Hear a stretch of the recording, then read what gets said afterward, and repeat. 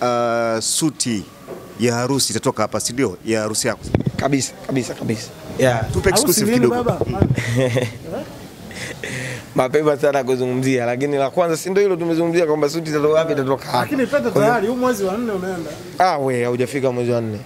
Uh, sisi tumefanya eh, mimi nimemwengage mpenzi wangu tarehe kumi na mbili mwezi wa nne na tunavyozungumza leo uh, ni mwezi wa saba, lakini haijafika tarehe kumi na mbili. Kwa hiyo ni miezi miwili na Lakini uchumba na yani ukishamvisha mtu pete miezi miwili tu. ni yani mimi ni nilikuwa ni, ni, ni, ni engage leo nioe hata baada ya wiki, lakini umeona kulikuwa na corona, kuna changamoto kibao zimetokea ambazo sio ndani ya uwezo wangu. Kwa hiyo usijali, Social distance zipo mkubwa. sawa, lakini wewe unatamani mimi nifanye harusi nisikualike na watu wengi ambao muda mrefu hatujaonana. Kuna watu nimesoma nao shule, kuna watu wananisupport, kuna watu nimeanza nao toka siku ya kwanza, na watu wengi ambao kwenye tukio la kihistoria kama sherehe yangu ya harusi, sababu sherehe ziko tatu: kuzaliwa, uh, ndoa na kifo. Kwa hiyo yeah, hiyo wanasema Benasi anachelewa kuoa kwa sababu ana ana budget ambayo anatamani kufanya harusi kubwa, lakini pesa alionayo ni ndogo.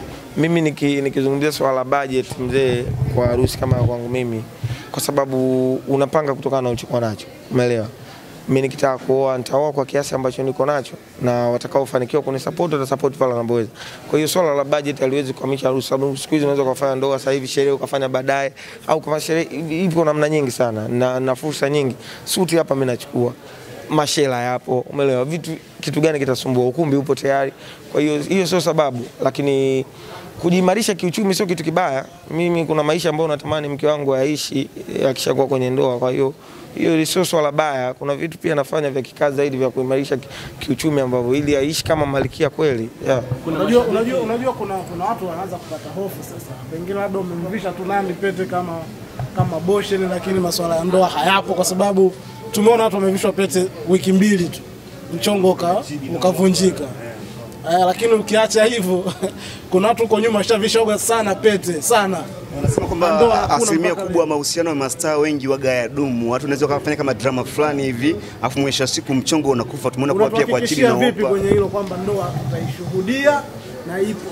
na kuhakikishia kwa sababu mimi kwanza katika maisha yangu ndio ndo binti wa kwanza toka nimezaliwa kumvalisha pete. Sijawahi kufanya kitu cha namna hiyo, kwa hiyo na wala sifikiri kama nitakuja kumvalisha mwanamke mwingine pete, haipo. Kwa hiyo nilichokibakisha ni hilo swala. Nasi neno yanaishi ujue. Sawa, yanaishi kwa sababu naamini ninachokizingatia, ninachokizungumzia.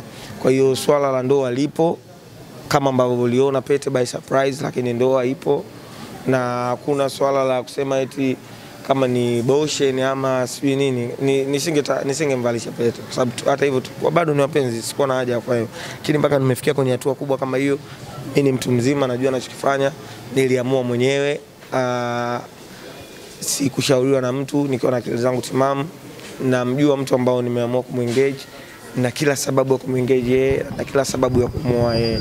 Kwa hiyo kama kuna mtu anakwambia swala, yani kwa uwezo wa Mwenyezi Mungu na kudra zake, kwenye baya, kwenye zuri, nikiwa na akili zangu timamu, tutafunga ndoa vizuri kabisa.